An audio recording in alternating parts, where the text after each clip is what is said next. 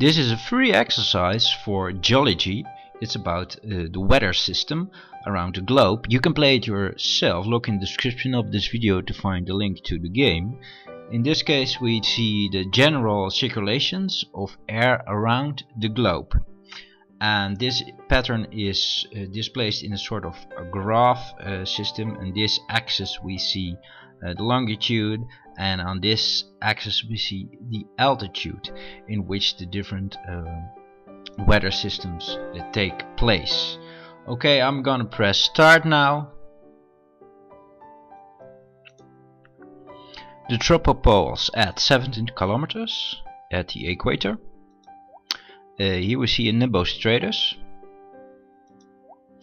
The stratosphere, there's a higher uh, polar front.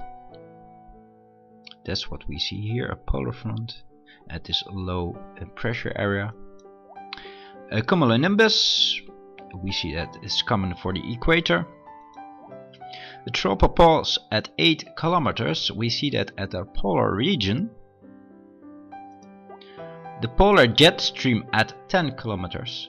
It's typical for around the 60 degrees longitude. A subtropical jet stream at 30 kilometers height, that's this subtropical jet stream, is typical for the area around 30 degrees longitude and we normally have a high, high pressure area over there. The Ferrel cell this is a Ferrel cell, the area between 60 and 30 degrees. Uh, Hadley cell, the area between 30 degrees and the equator. Uh, in this axis we see the altitude in kilometers and this is a polar cell. Now you can play this game yourself. Look in the description of this video to find the link to the game.